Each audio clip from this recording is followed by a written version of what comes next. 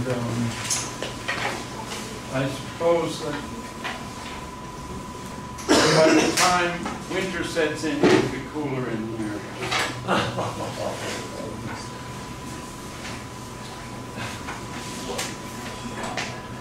And then I got uh, some good chalk from the secretaries. So we've got the chalk situation in hand. I also I also posted a PDF file in which um, I say, uh, I, it includes the first homework assignment. Um, It's two problems. Tentatively, they're due next Wednesday. They won't be due before next Wednesday, but um, if next Monday there are, um, somebody wants to postpone the homework, probably we can postpone it. These are two pedagogical problems. Um, One of them is very much like what I did in the early part of the lecture yesterday, uh, yesterday, Monday. Um, I talked with one of the more senior graduate students, um, in fact, the one who asked the question, what kind of chocolate, um, when I said that I was going to give out chocolate questions. And um, I said to him, I wasn't sure whether the students thought that I was going too fast or that I was going too slowly. And he said to me, he was sure that I was going too fast.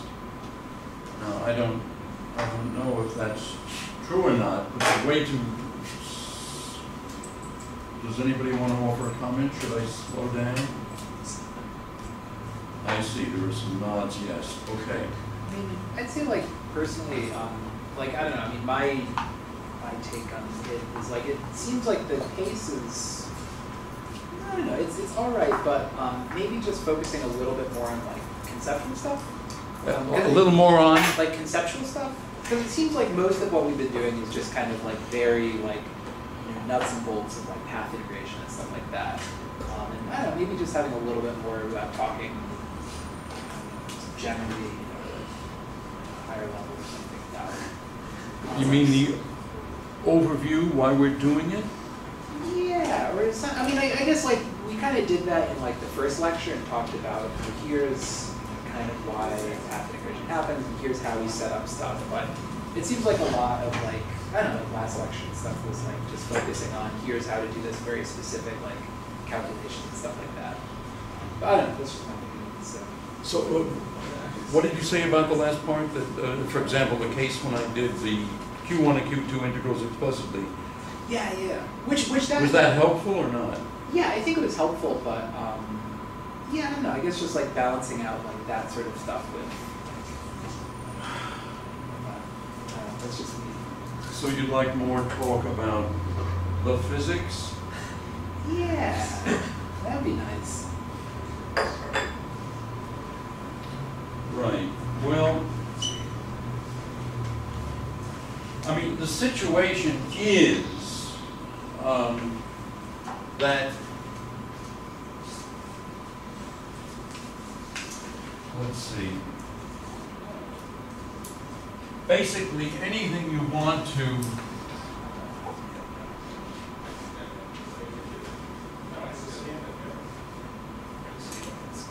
Uh, let's see.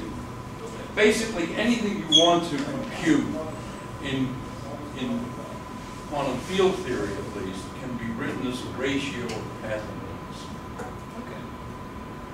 And you then have two choices. You can either, if the coupling is weak, then what you can do is you can do perturbation theory. And that leads to things called Feynman diagrams. And uh, which Feynman diagrams you get depends upon what terms, what other terms that are cubic and quartic or whatever in the, in the Lagrangian of the action. the coupling's strong, you can't do perturbation theory, and um, you have to basically uh, approximate, what, what, what people do is they discretize space-time. And the first discretizations that were more or less successful were done by Creutz back in, I think, 1980 or 82 or so. And he used a 10 by 10 by 10 by 10 lattice. So all of space-time was this cube, hypercube, of 10 to the fourth points. But that's already 10 to the fourth points. And so he, he had to do a 10 to the fourth dimensional integral. What he did was he used what's called the Monte Carlo technique. And uh, computers got better, people could go to uh, 20 by 20 by 20 by 20. But notice when you go from 10 to 20, the number of points increases by 2 to the fourth, which is 16. So you have 16 times more uh, to do. And um, so it's, anyway, that, that approach was, was called lattice gauge theory because um, the strongly coupled theory, which, in which you couldn't do perturbation theory, was quantum chromodynamics. And um,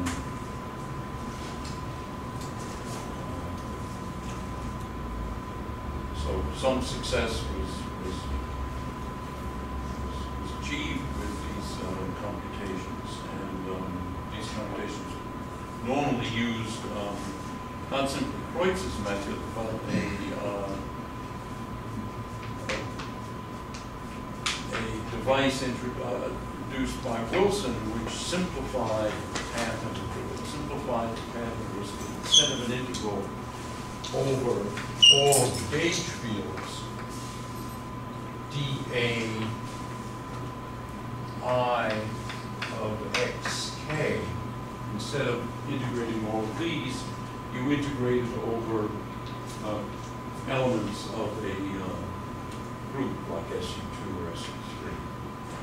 And this made, this, the advantage of this was that it made the computation simpler and also preserved a certain symmetry, or imposed a certain symmetry.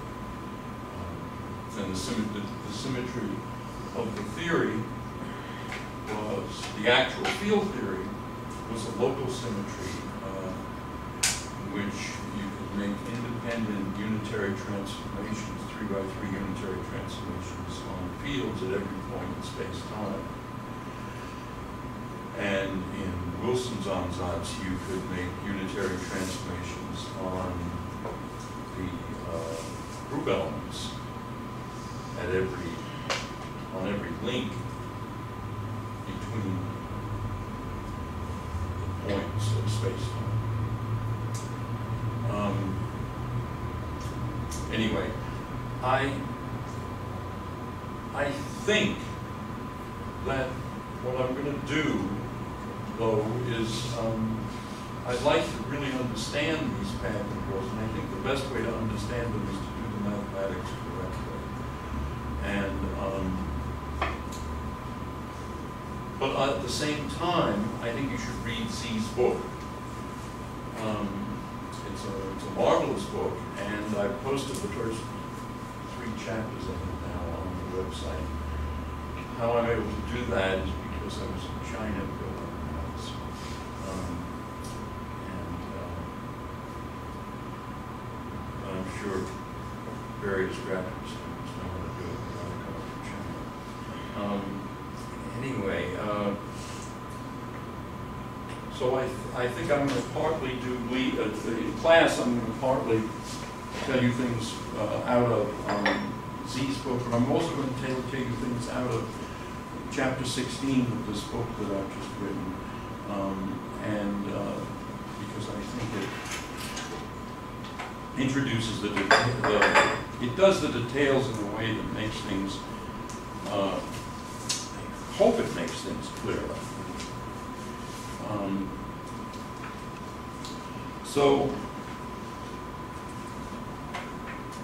Let me first, though, mention that uh, one of the corrections that I made in class to that chapter 16 was actually wrong. The equation in the text was right.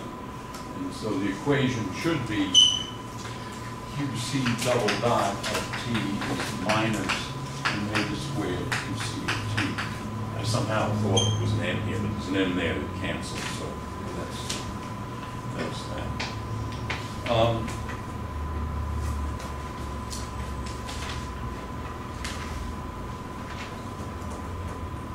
Okay, let me, let me now uh, do what I think will be, will be somewhat clearer. I'm going to go through section 16.8, and chapter 16 is online. And I think this will be clearer. I actually wasn't intending to do this today, but, um, in fact, I wrote up other notes. But I then finally decided that it would be clearer if I, I think it would be clearer if I followed what's in chapter sixteen. So let me refer you to sixteen point eight, that's the section. So this is, um, the idea is to compute the following. E to the minus beta h time. and we're gonna use one of Feynman's uh, tricks uh, to do this. Um, In the notes, uh, in the, in the text, I have, um, I've kept that factor n there, but one can just as well absorb it with the dq's, because its role is really to normalize them. We then have an integral zero to beta, and if we're doing a harmonic oscillator, uh,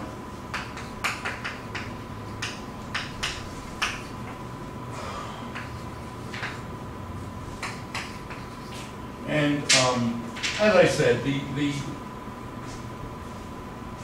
when I originally wrote that chapter, I had this, I thought of n as a separate factor, but I think it's better to put it here, which is what Zee does. The Hamiltonian here is of course p squared over two m plus a half omega squared q squared, and we imagine that qp is i. And the complete set of states are q q prime is q prime, q prime, p p prime is p prime. P prime. These are eigenstates of q, yeah. It's, it's m omega squared, right?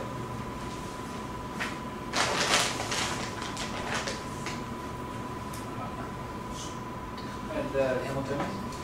Ah, yes, thank you.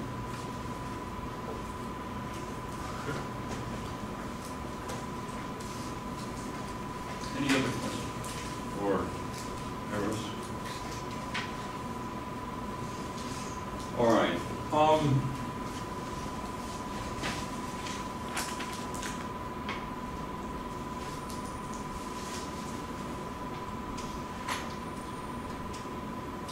Okay, so this, we could call this the Euclidean action, that's what people normally call it.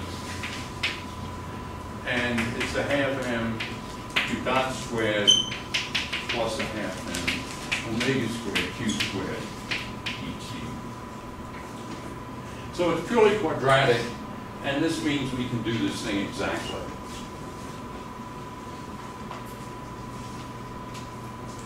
Um, and the way to do it exact, the, the easy way to do it exactly is to, and the way that it in fact used for many sorts of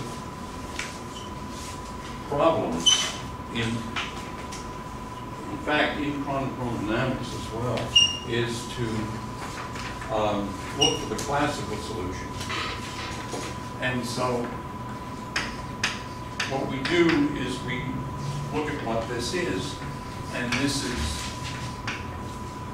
d by d epsilon of an integral of zero to beta, a half m q dot plus epsilon h dot squared plus a half m omega squared. So in other words, I'm setting q classical plus epsilon h. What's H? h is just some function of time, an arbitrary function of time.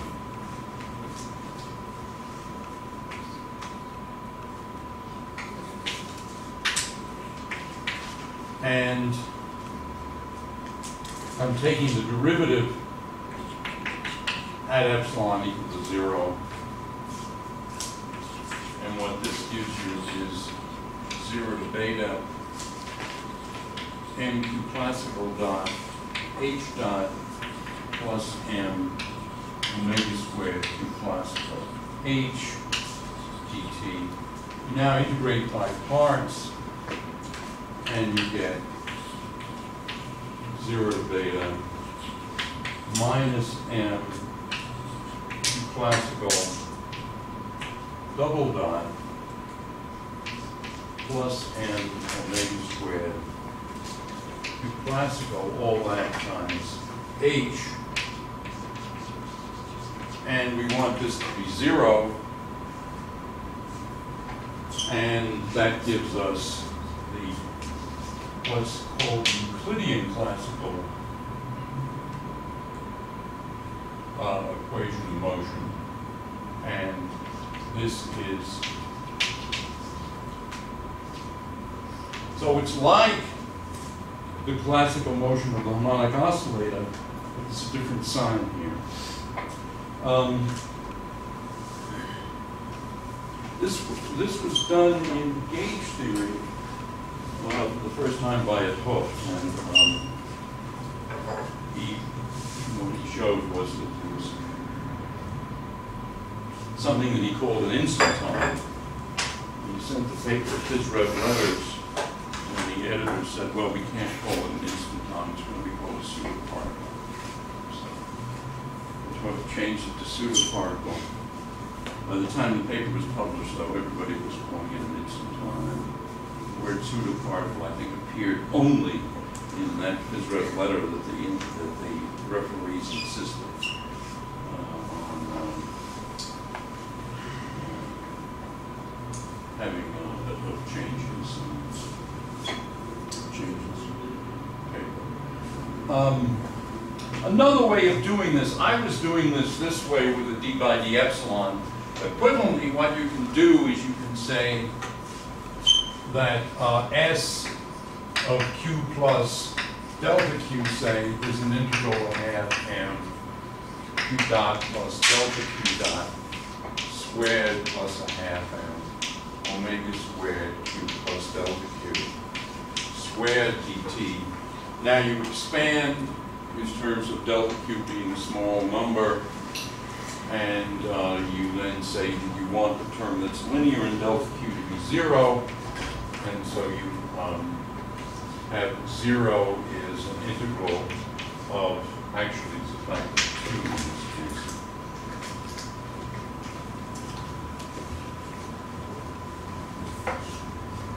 Yeah. Uh, M Q dot delta Q dot, uh, plus a half M omega squared Q delta Q dt, and you want that to be zero, you integrate by parts, and you get the same. Yeah, Okay, so P and Q are operators here, right? right. Okay, so where, at what point does this uh, action become a scalar? Not a Oh, scalar, you mean instead of it's a, instead of a, uh, oh, well, right here, yeah, that's a good question. Here, H is an operator, and it's P squared operator, Q squared operator, with these coefficients. But, when we insert these complete sets of states, they turn P squared into P prime squared and Q squared into Q prime squared, they then become numbers. Okay, so in this expression, this integral. So in this expression, they're purely numbers. And, yeah, it's good you asked that, because that in a sense is sort of what you were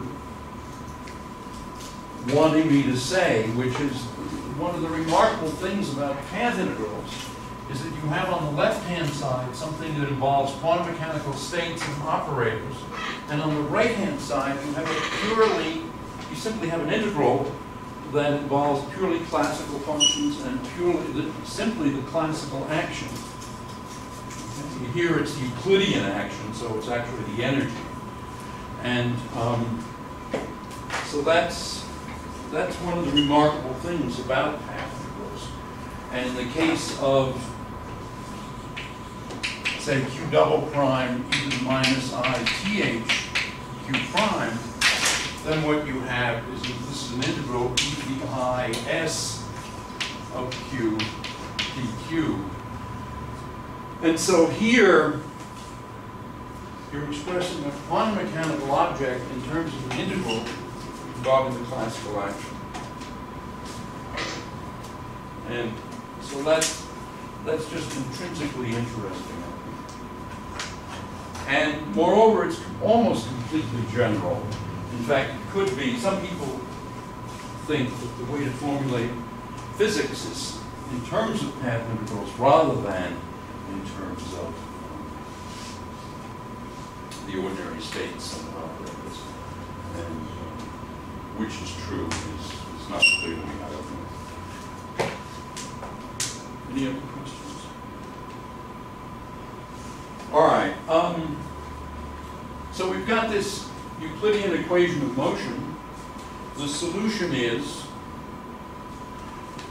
actually in the notes, this C, it's not only classical, but it's, uh, it's E for Euclidean, so I'll write it as E. The solution is A e to the omega t plus B e to the minus omega t. Well, that's pretty obvious, because that obviously satisfies this equation. Arbitrary constants A and B. Um, on the other hand, what we want is we want a solution that goes from q prime double prime in time beta, or in inverse temperature time beta. And that means that you just solve for A and B. And you find that A is q double prime e to the minus omega beta minus q prime e to the minus 2 omega beta all divided by 1 minus e to the minus 2 omega beta. And the b is q prime minus a. What's the um, subscript on your the little key that you just wrote? What's this? Yeah. E for Euclidean. I was using C. C for classical, E for Euclidean. It's the classical Euclidean solution. So you can have C or E. It's E in the text, and I didn't have my reading glasses on when I was doing this at first, and so I couldn't tell whether it was E. Put them on, indeed it's an E.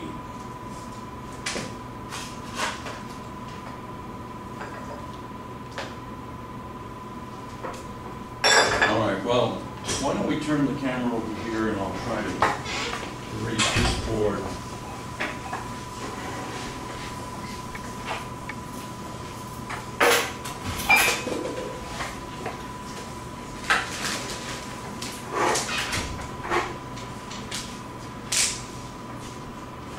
Okay, so what's this Euclidean action for this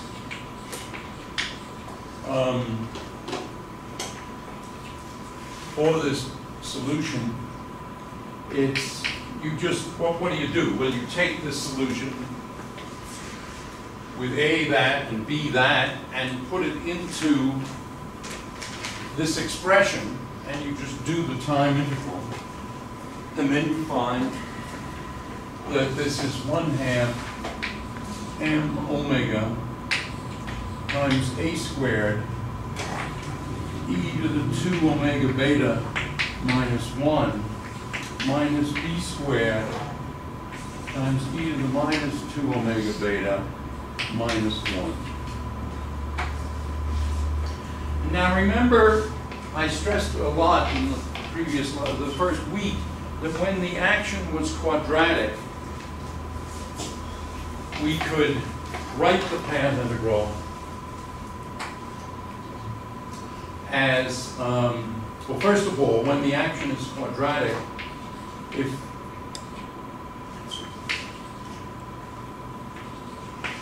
the action breaks up into two terms, which actually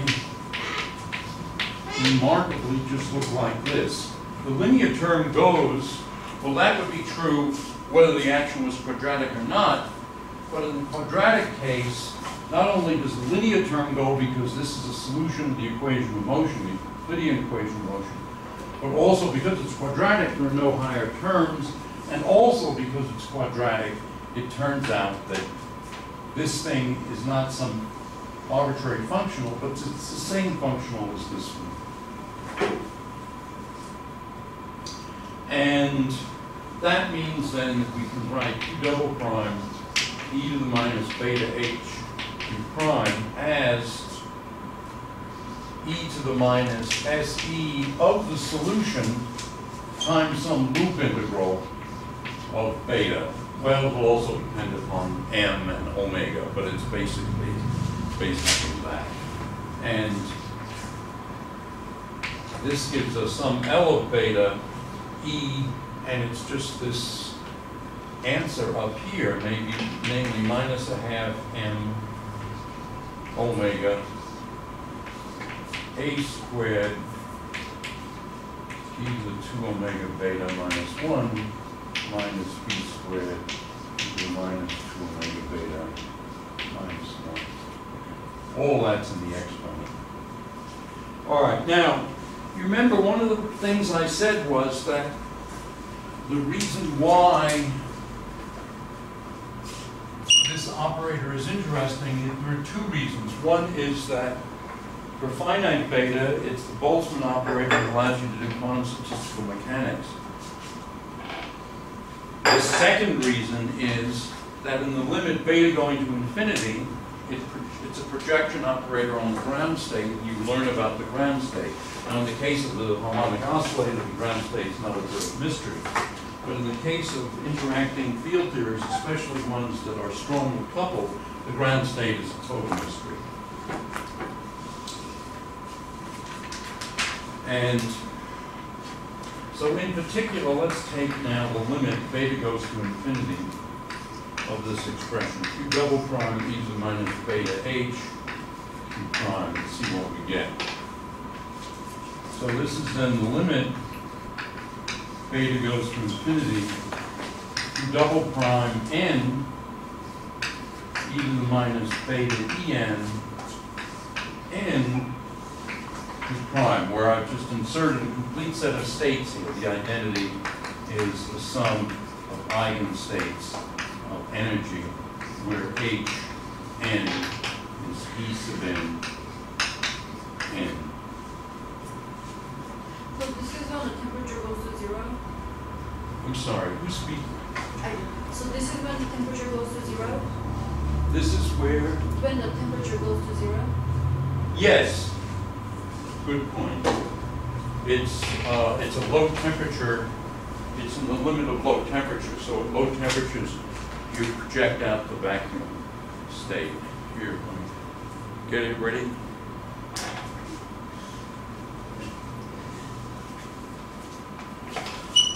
Throwing things is typical ape behavior, and um, it's one of the reasons I like doing it.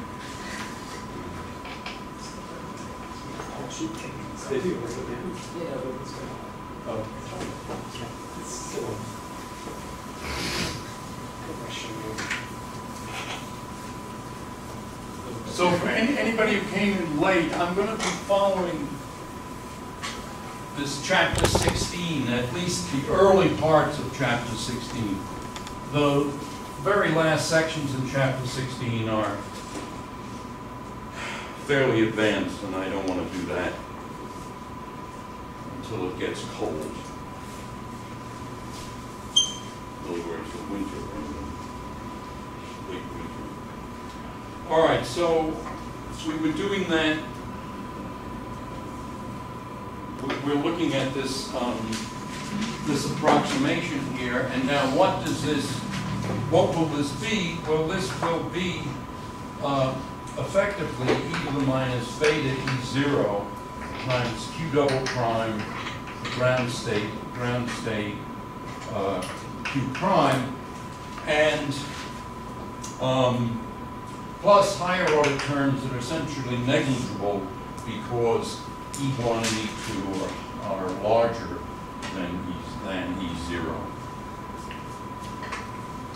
So what we learned then is that e to the minus beta E0 times 2 double prime 0, 0 q prime is the limit on the right-hand side. Uh, in other words, limit of this as beta goes to infinity. Well, as beta goes to infinity, this term is going to go to zero. This term is going to uh, become large. And, oh, but we also have formulas for A and B. A is e to the minus omega, e to the minus 2 omega, e to the minus 2 omega. So this, in the limit of beta goes to infinity, is q double prime e to the minus omega beta. This going to zero, that going to zero. And this one, B, goes, well, just stays as q prime minus a. Okay, did- Maybe it'd be good to turn the thing over here so that, so that this gets on, uh, on the screen.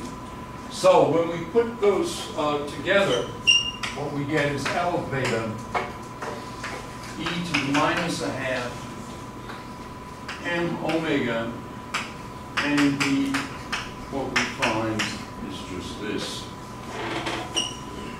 So I have a question, so. Yeah. For A, are you then saying that the factor of two is actually significant in the. This two, you mean? Yeah, yeah, yeah, Oh, yeah, is significant If this is- compared to that, yeah. okay.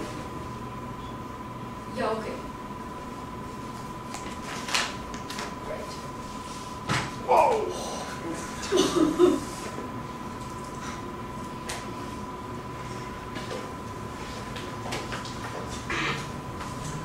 so what do we learn from this? What we're learning from this, um,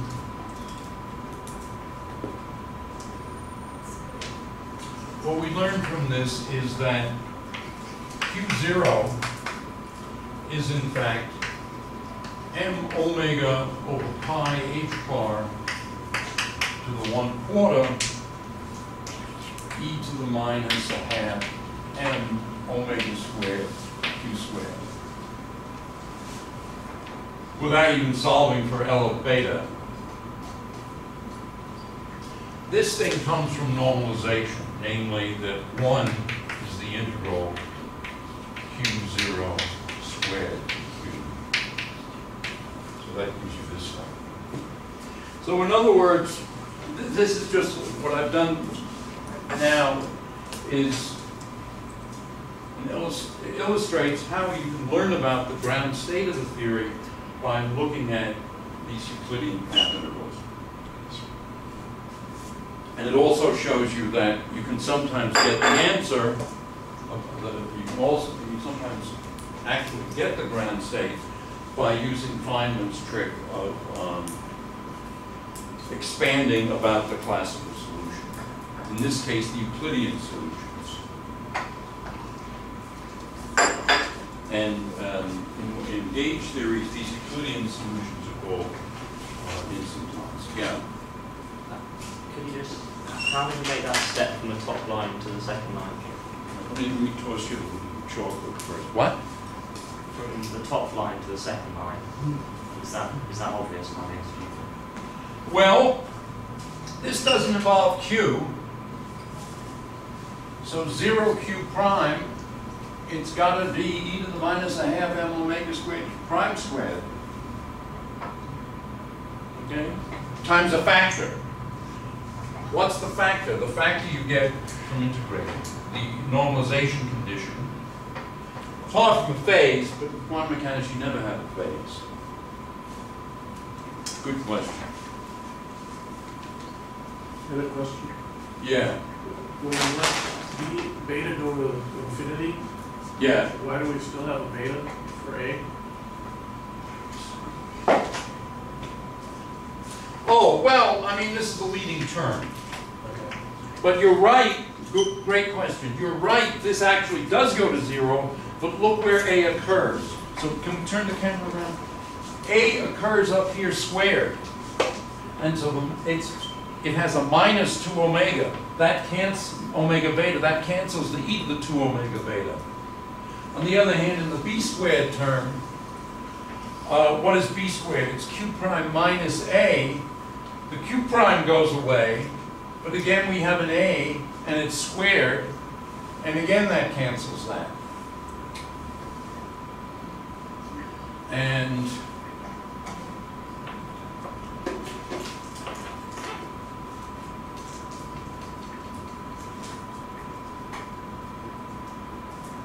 um,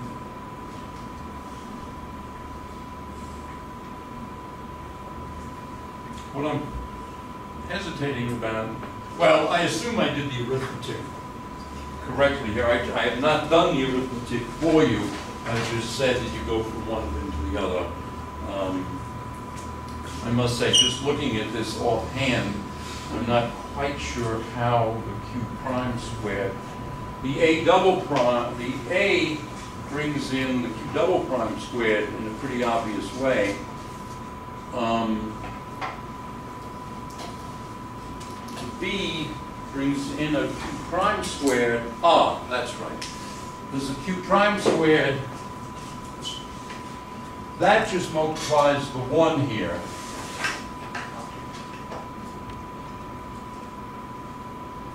And um, then the a squared term hits these two terms, it goes to zero. So that's how the q prime squared comes about. Anyway, it's, I encourage you to do the the, the, the, to fill in the arithmetic details. By the way, let me just mention something to you that nearly drove me crazy this morning when I was, I sometimes listen to a radio station in Washington, which normally is pretty good, WAMU, Diane Rehm's show. Today, her second hour was devoted to a proposition by a emeritus professor of political science at Queens College in New York, who wanted to do away with the requirement of algebra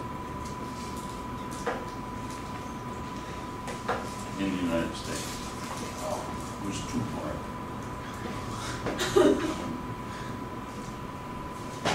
I, I,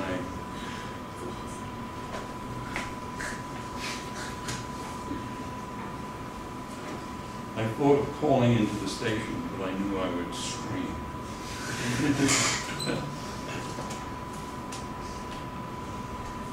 Okay, um, any, any questions? Other questions? Now, let me get uh, to something called uh, Euclidean correlation functions. Uh, This is, this is basically one of the things that one does with path integrals. Uh, especially Euclidean ones, but uh, one uses the same technique for the, the case in which you're computing e to the i, e to the minus i, th. All right, so let's ask, what is q of t? It's e to the i, th, q, e to the minus i, th. Where I'm thinking of q, the way I did the q's over here that got erased, namely the q is just the um, Schrodinger picture operator, this is the Heisenberg picture operator. So this is, you think of this as q at times zero if you want. Okay. Now, this is the, um, the way things go normally, but Euclidean time evolution is e to the th cube, e to the minus th, so that you can take as a, as a definition. And again, t is really a sort of inverse temperature rather than actual time. And now we can define a time-ordered product of two Euclidean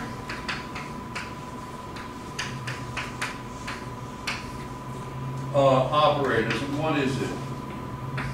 It's, well, it's just what it says, mainly it's time ordered, so if T one is greater than T two, Q Euclidean, it's Q Euclidean of T one, Q Euclidean of T two, plus theta of T two minus T one, Q Euclidean T two, Q Euclidean T one. Okay, theta is the Heaviside function, theta of x is, let me see, I have a nice expression for it. It's x plus absolute value of x over two absolute value of x. So the function has, uh, this is zero, one side is heavy, the other one is light because it's zero. That's not how it was named, the man's name was actually Heaviside. Um,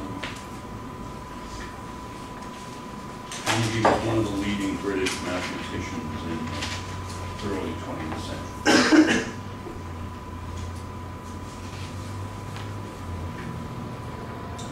All right, so let's, um, I have a question. yeah, So the uh, uh, um, for the Euclidean evolution, that's not a unitary operator because right. So that how how could I think of that then in terms of unitary evolution?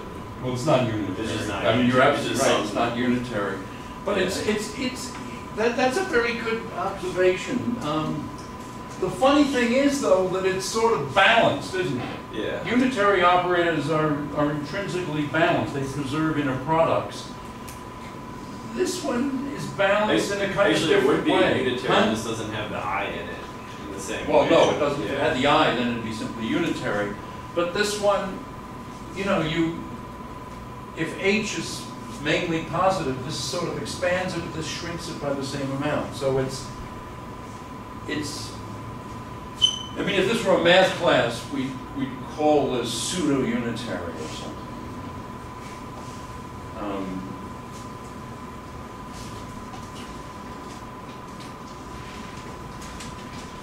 okay, So,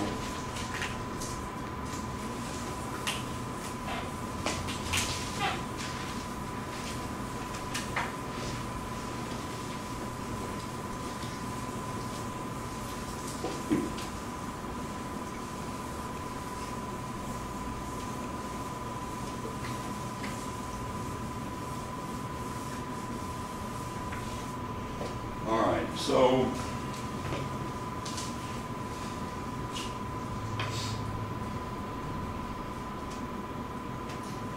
All right, so let's, compute the following. Q sub t,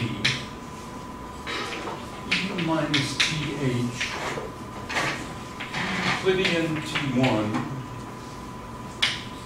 Euclidean t2, e minus th, q minus t. All right, so what's that? That's going to be q sub t, e to, now we're gonna substitute for q e t1, we're just gonna use this formula where this is q of zero, the ordinary q. So this is e minus t minus t1 h, q, e to the minus t1 minus t2, q, e to the minus t plus T2H, Q sub minus T.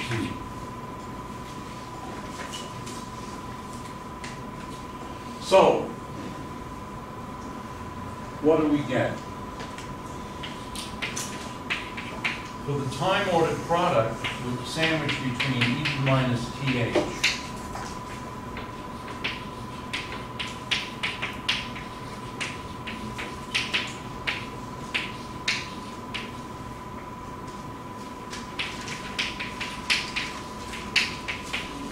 What do we get? What we get, now, when I say what do we get, what do we get if we do the same thing that we've now done several times, namely we take this interval of length 2t from minus t plus t, we insert all those complete sets of states, we write this as e to the minus t and then whatever h is, uh, presumably p squared over 2m plus some v of q.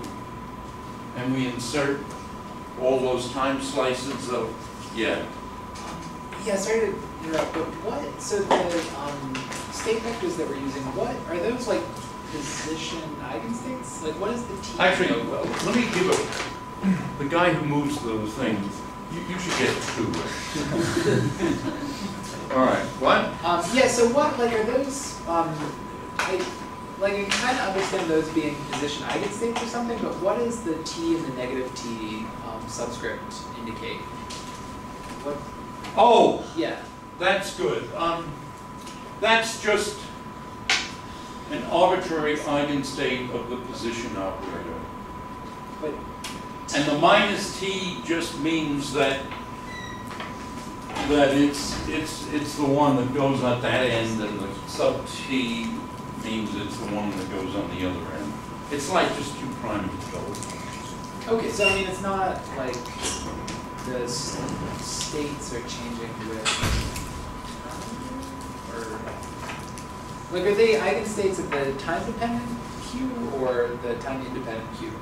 No, all my eigenstates are I mean, we, we, we would insert complete sets of states, and they'd all be of the form q, q prime is q prime, q prime.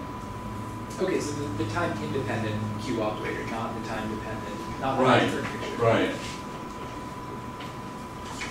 This is, in other words, in, in that particular case, we'd say that Q, Q sub minus T was Q sub minus T, Q minus T. Okay. Good question.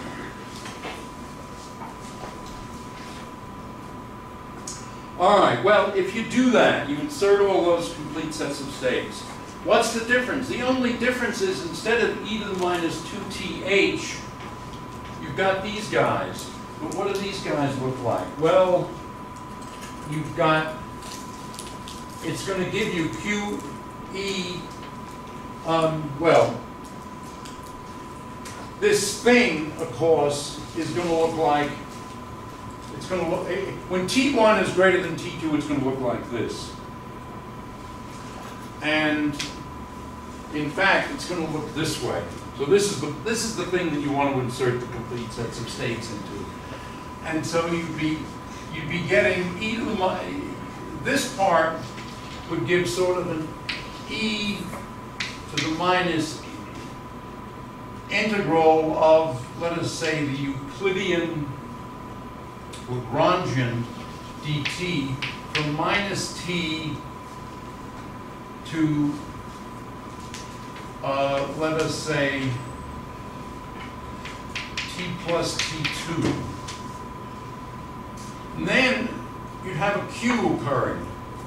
So this would be a q, whatever that q state was there. And then you'd have more e to the minus integral from, let us say, t2 to t1. So this must really be t2. t2 to t1 L dt, and, and this would then be q t1. This would give us q t2, and then you'd have e to the minus integral L from uh, t1 to t. So it would look like that. And so what you actually get from this is an integral q of t1, q of t2, e to the minus Euclidean action of q.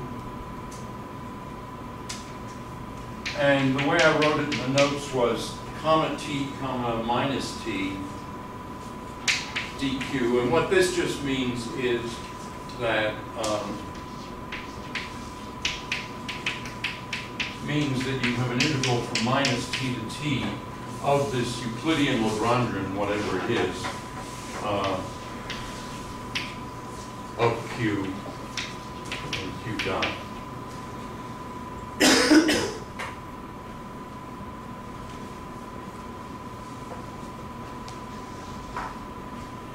um, and here, in other words, this thing is an integral from minus t to t of a half m q dot squared plus v of q, let us say t prime, t prime, dt prime.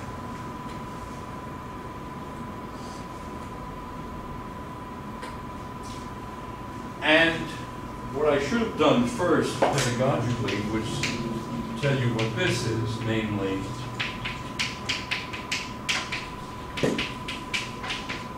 Well, this is going to be an integral.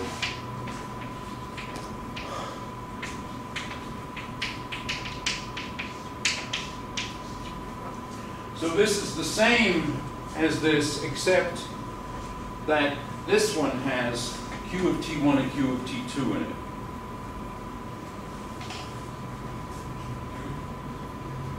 it. All right, so let me go over here now.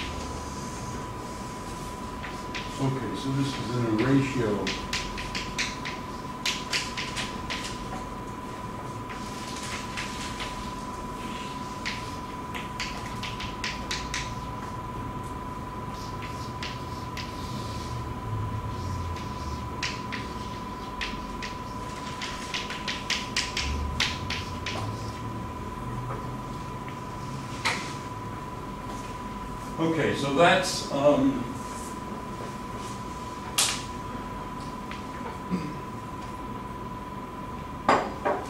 That's uh, what we get for this ratio. And this, this is a very, this is the simplest example of a, of an infinite class of ratios that are really important in physics.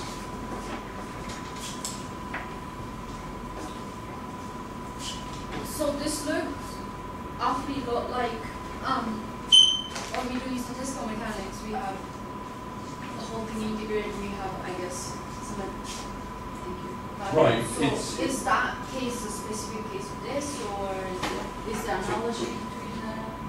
Um, I'm sorry, I didn't get the beginning. Say it Oh. again. So this look a lot like what we do in statistical mechanics. Yeah. So is that a specific case of what we do here, or is there analogy between Between, like uh so when we're looking for let's see. okay what I remember is that yes you know maybe I can okay I'll, I'll try to refine my question So tell me- that would be great Are you just talking about like, like having a normalization thing, like a z on the bottom or something? yeah but that's the whole thing right and then you have like a similar like specific I mean specific state on the top but this looks like that integral it's just similar so I think that it's analogous. okay. But this generalizes to an arbitrary field theory. And there's almost no change. Um, so let's now take this limit as before, t going to infinity. And then the limit, t go to, t going to infinity, e to minus th minus t. Limit, t goes to infinity.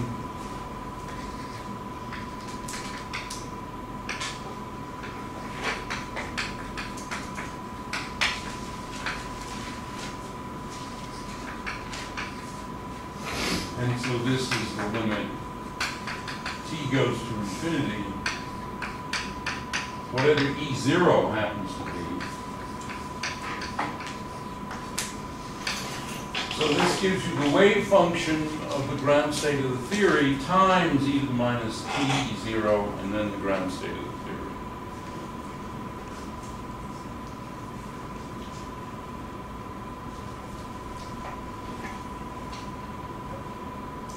Okay, so what, so, so let me do this thing explicitly then. Um, we can imagine taking this limit t goes to infinity, replacing by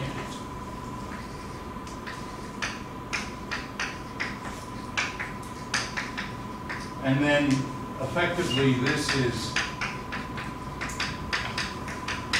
so we in a sense insert this here and there and down here and so what do we get? Let's, let's try to do it carefully.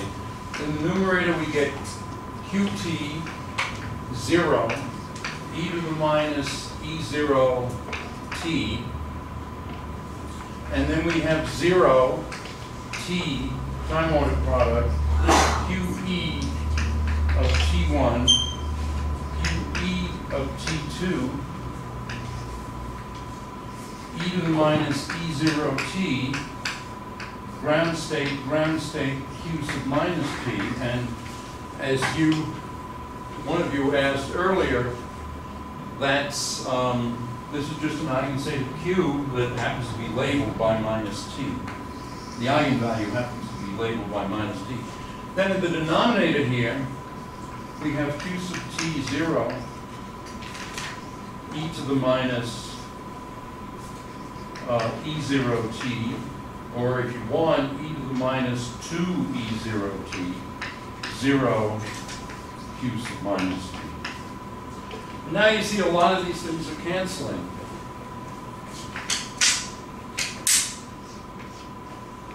What cancels? There are two factors of e to the minus E0t, two down here. There are these factors and these factors. And so what we're left with is ground state time ordered product of QE of T1, QE of T2,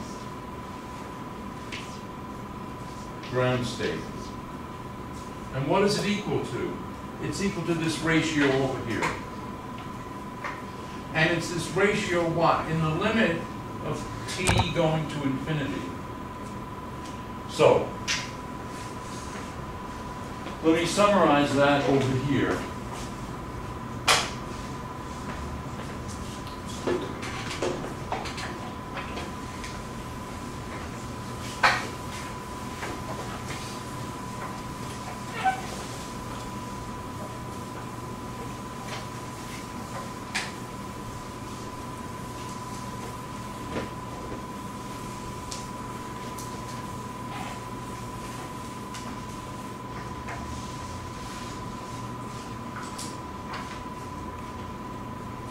In other words, what we get is that the mean value in the ground state of the time-ordered product of two Euclidean operators is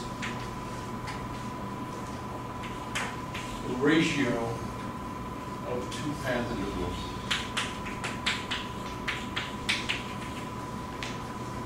And now this is just e to the minus se dq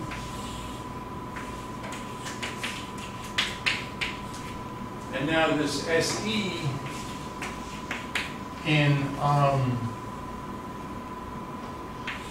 in the case we're talking about is q dot squared minus m over two q dot squared plus b of q dt, but we're integrating now to minus infinity plus infinity.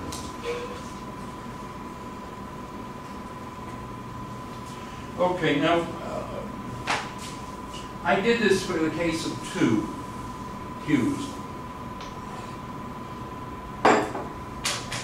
You won't be surprised to know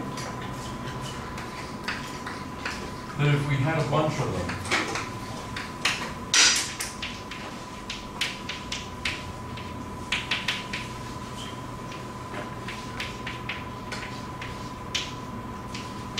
remember, this is the ground state of the theory.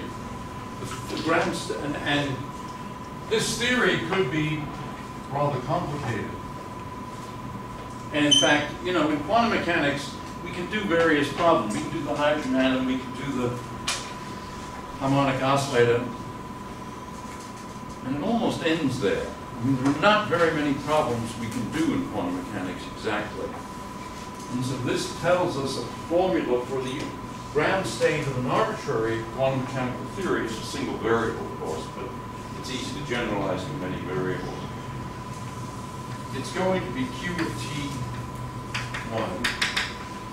Q of Tn,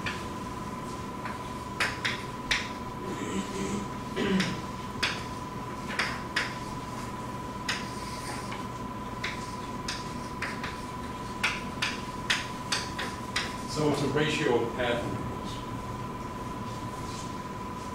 Notice there's no time ordering on the right because it wouldn't make any sense. Because Q of T1 is just a number, Q of T2 is just a number, they commute with each other. But it makes sense over here because these Qs are defined in terms of e to the minus THs on both sides of them. So they don't commute. And now what's important about this is that you can generalize this to all quantum field theories. So you can first of all generalize it to systems of um, many variables, not just one Q, but three Qs for the position of a particle. Or you can go to n Qs and n Ps, and then it's, uh, you go from NPs to uh, a field theory. So let me, let me take that step now into field theory. Again, in this con, in this Euclidean space context, the, you may wonder, why did I do Eu- Euclidean space? Well, the mathematics is better behaved because all these things are damped with e to the minus something. Whereas in the real time, they're e to the i, and so you have to assume that somehow the uh, phase oscillations will uh, make everything meaningful. And in fact, things are meaningful. Uh, Yeah, I, I think I might have missed something, but should there be a limit as t goes to infinity on the right hand side here? Say that again? These uh, equations are a limit as t goes to infinity, or uh, for like the top and bottom ones. yeah, you're going to minus infinity and plus infinity in both of these. Oh, the integral. I, I just The integral, on integral over time, this SE, this SE of Q, which I left out, is from minus infinity and plus infinity, because we took the limit t go to, t going to infinity. Okay. It was originally going from minus t to plus t. Oh, okay, okay. Alright, thanks.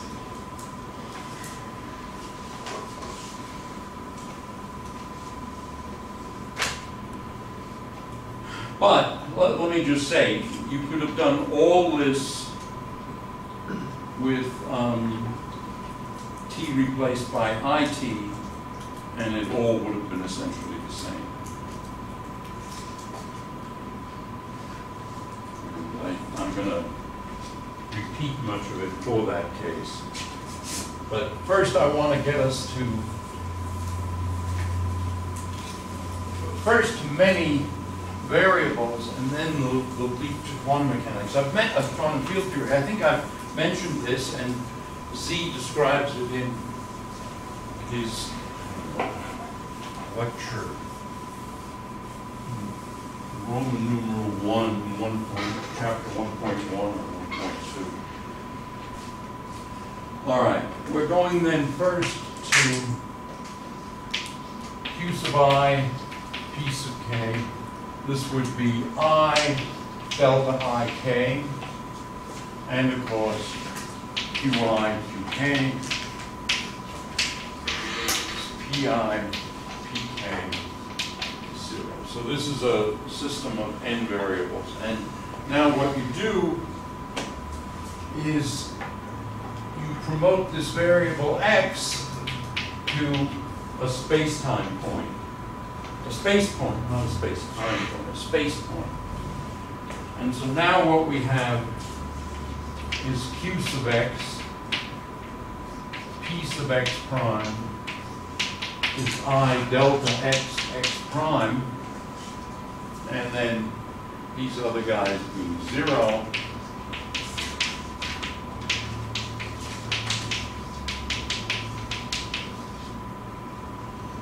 And the next thing is we say, well, to distinguish this from quantum mechanics, we're going to call this a field. And so this is a field at space-time x, and we call the conjugate variable, which here is p, we call it pi. And now this is going to be delta q of x minus x prime. So this is a delta function. Now, um, this is the standard way of doing things, and this treatment, by the way, from single variable QP to many QPs to field theory, is the same whether we're doing, um, uh, whether we're doing quantum mechanics or quantum field theory. The underlying fields are the same. It's just we're computing different matrix elements, matrix elements of different operators, either e minus ith or e to the minus beta h. And because we have phi of x, phi of x prime equals zero equals pi of x, pi of x. And these are the operators, these are the Schrodinger operators, or equivalently, they're the Heisenberg operators at time zero. And a generic Hamiltonian is an integral a half pi squared of x plus a half grad phi of x squared plus a half m squared phi of x squared and then plus some p of phi of x d cubed x. So this is Hamiltonian and there's a space integral of this. Um,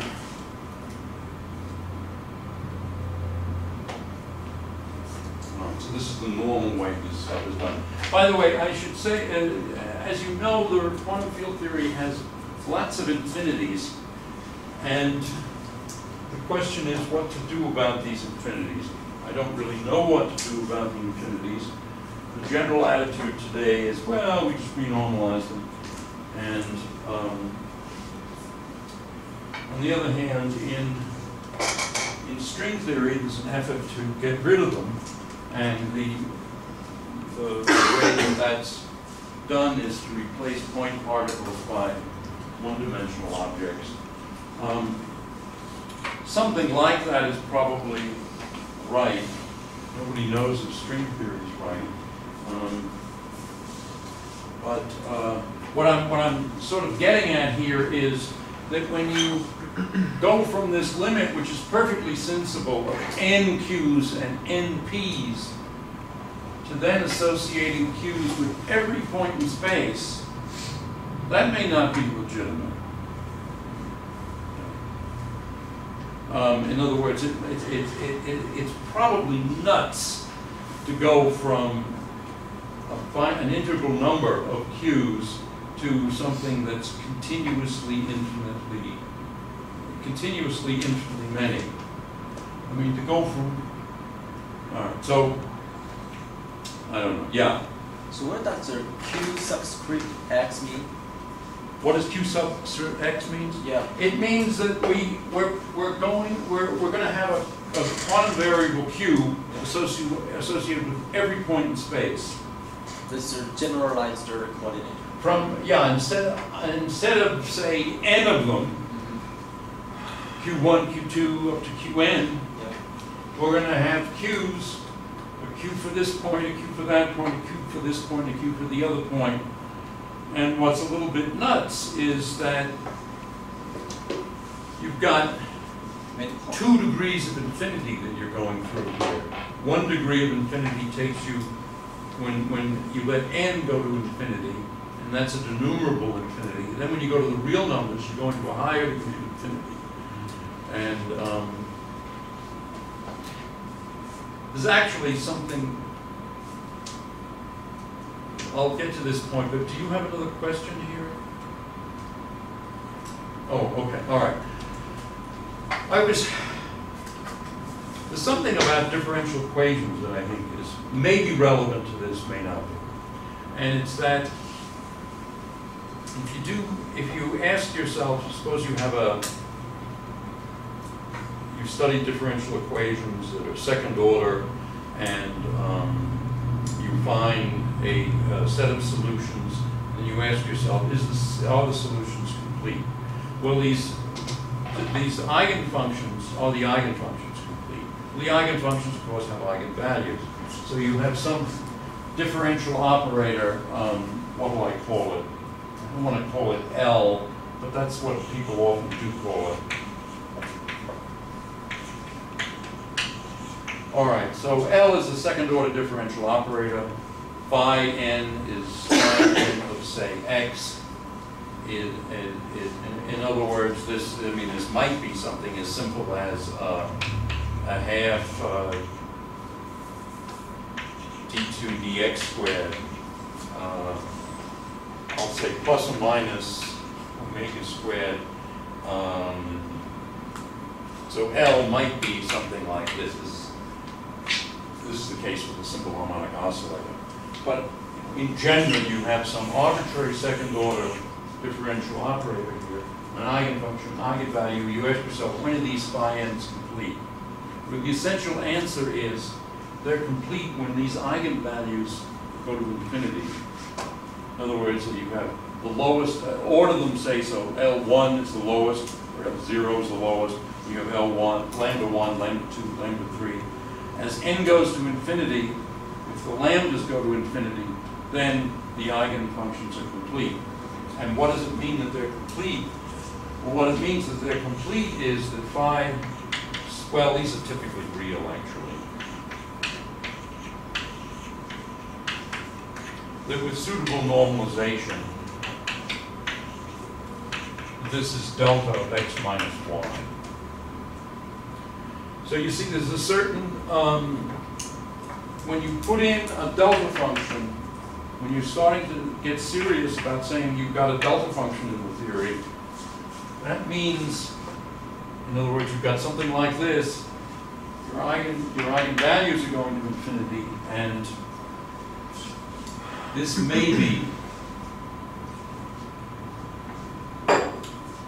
this may be the source of the infinities of quantum field theory, but don't, don't don't uh, accept that as an actual true statement. It's, it's just that this, I have the feeling that there's some relation between the two. And that maybe this is a mistake, but this is what is done in all ordinary quantum theory.